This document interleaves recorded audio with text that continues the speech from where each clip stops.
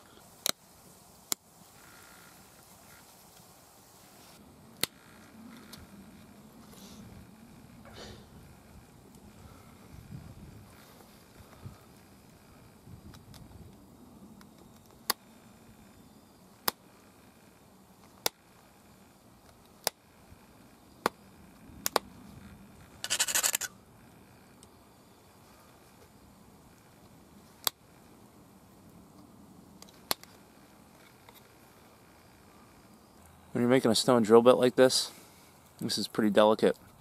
This is going to be going into something pretty hard. So when you make these, you kind of want to make sure your edge is pretty controlled. In other words, kind of cut down on the real aggressive serrations. Get a pretty refined edge. What typically tends to happen if you're drilling too fast or drilling into something really hard, those serrations can really grab and break off the tip of your little needle tip here. This is a very delicate little flint drill. You have, have to take your time with these, especially when you're going into. I'm going to be going into antler with this. You could soak the antler and get it really waterlogged, you know, soften it up. Um, but usually I'm pretty unprepared for these videos, so I'll be drilling into hard antler.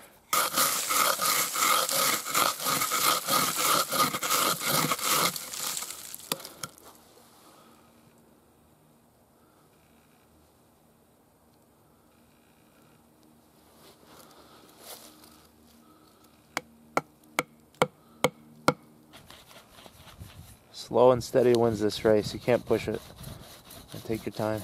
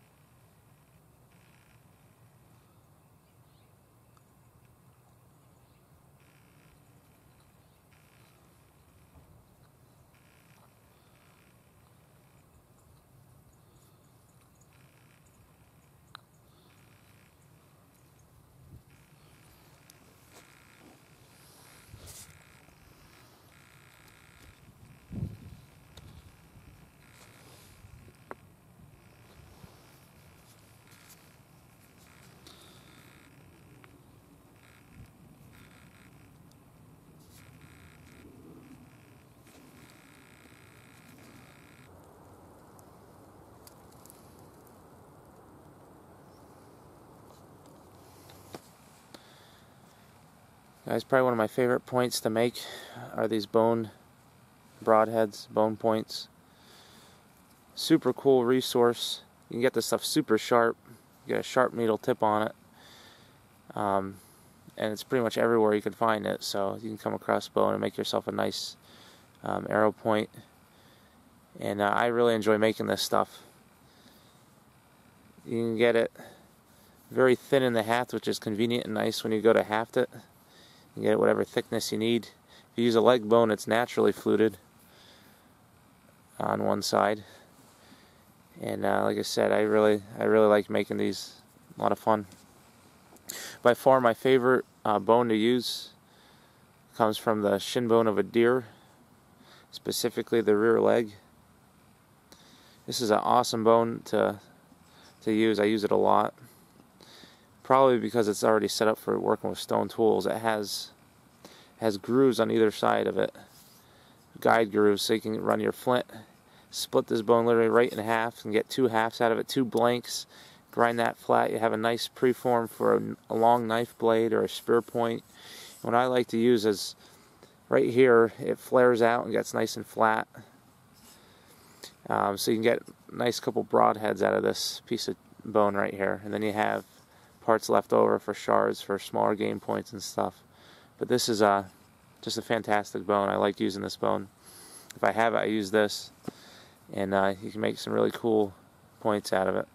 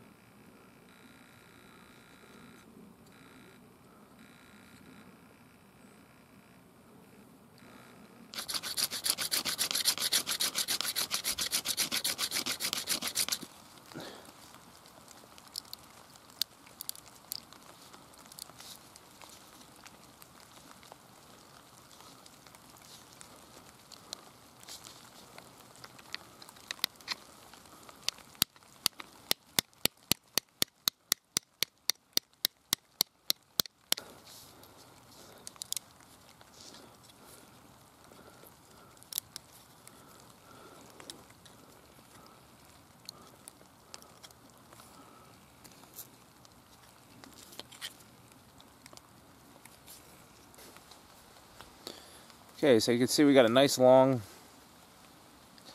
flat section of bone stock here.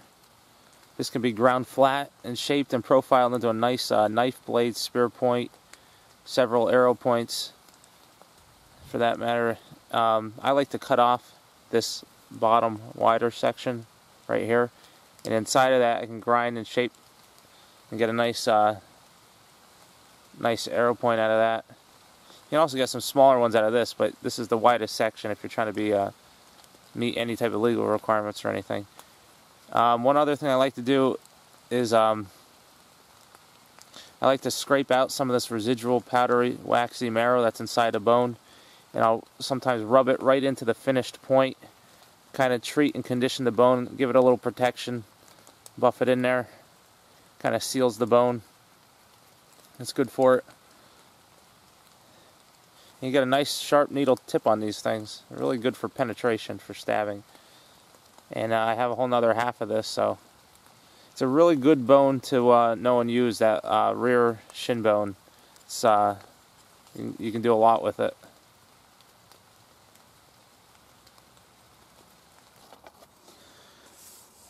This is my most common arrow setup. Blunt tip, Basically have a wad of uh, backstrap sinew and hide glue. I layer that backstrap hide glue and it forms a big wad of uh, sinew on the end of these. Gives the arrow a little bit of weight, helps them fly a little bit better, but really it protects the end of my arrow. This is how I learned to shoot. This is what I shoot primarily in the yard, around in the woods. I don't have to worry about breaking tips or damaging the arrow. This is reinforced, strong, and very effective on real small game. So what I like about these blunts is um, I can really get a feel for how the arrow's flying, practiced up with the arrow, shooting it over and over and over again, and I don't have to worry about damaging anything. I get an idea for how the arrow's flying, so I have that muscle memory connection there with this arrow. And when it comes time to actually think about going out in the woods and maybe hunting with it, I like to go one step further. All I have to do at this point is I know how the arrow's flying. I take a really lightweight piece of bone here. It's a bone shard whittled down to a really sharp point. This is really hard, really sharp. I got about a three inches of bone protruding out the end of this, basically, you know, reinforced arrow. And um, I could take this in the woods now and hunt, and that is wicked sharp. I would not want to get hit by that. Really effective. They will stab through anything, and I know how the arrow is performing. I could easily take this out and shoot this again, practice with it when it comes time to uh, take it in the woods.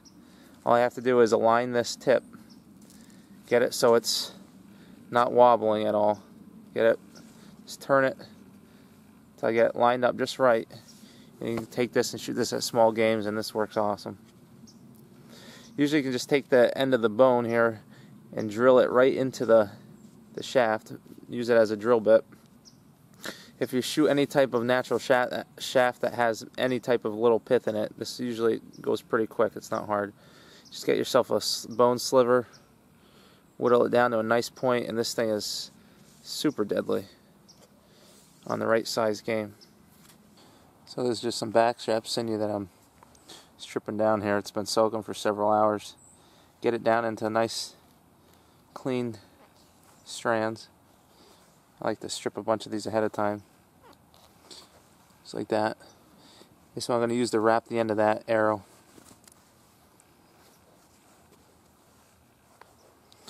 And I have uh, I have like little clay bowl here with the hide glue. It'll just be layered layers of uh, sinew and hide glue. Forms a really hard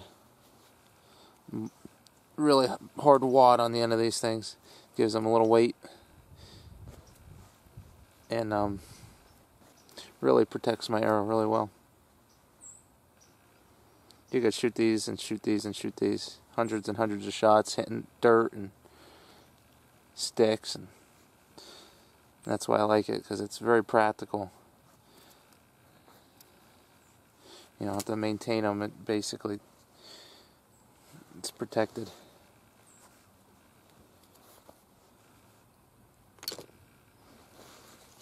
Okay, so first thing I like to do here is this end. I like to give the sinew and glue a little tooth to bite onto, so I like to gnash up this first inch and a half or so of the end of this arrow.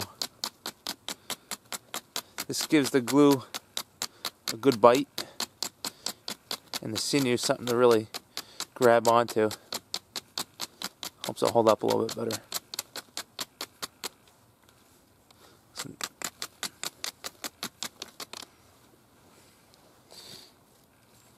I like to spread some glue on there. Just like that. Now I have all this sinew here that I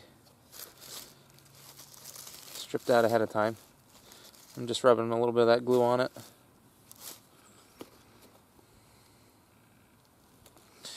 I like to reinforce this end really well because that's going to It's to take all the beating when I'm missing everything.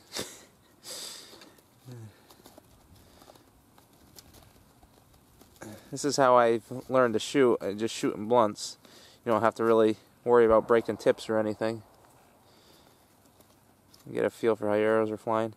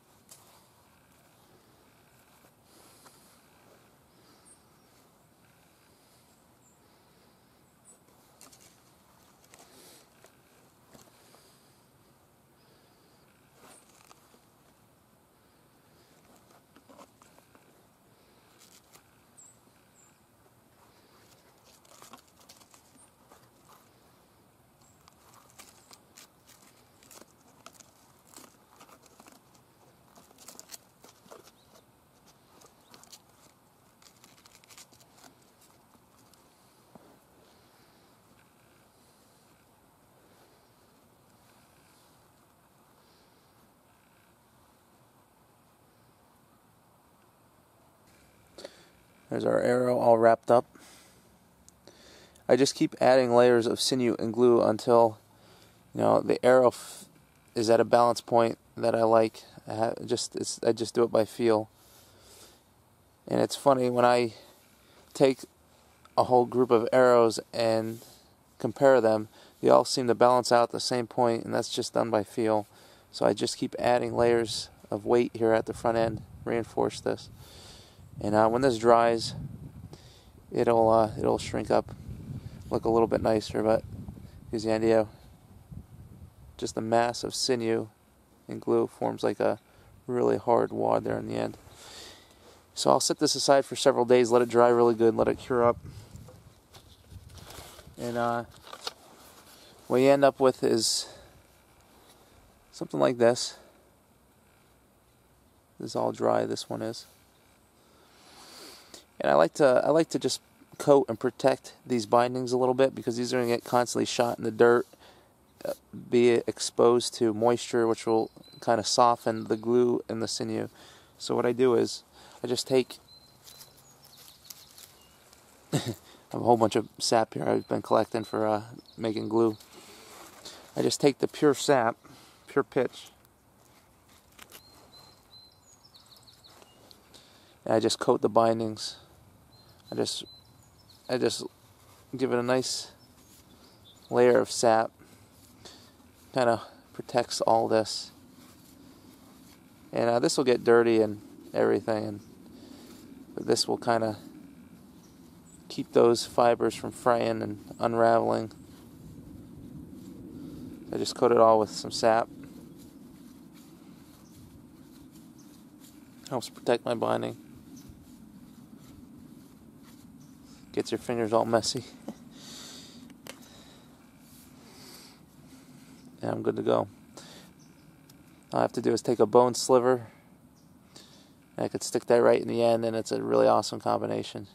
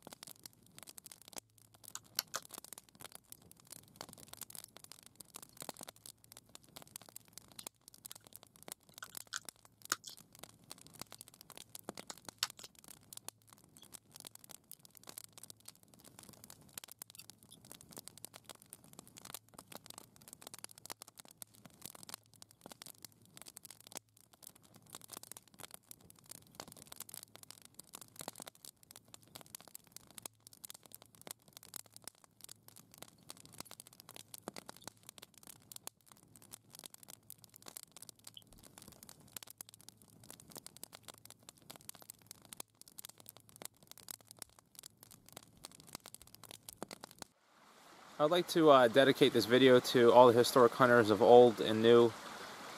Uh, I'm really thankful to be able to come out here in the woods and gather all natural materials and build my own hunting equipment.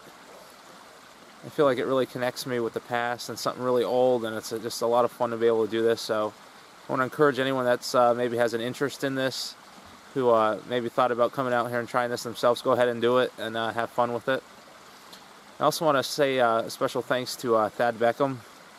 Uh, Thad, I've really uh, enjoyed all your instructions throughout the years uh, and uh, your willingness to show these earth tools in use and demonstrate that. I've pulled a lot from your work and I really appreciate all you're doing and hope to see you out there doing your thing some more.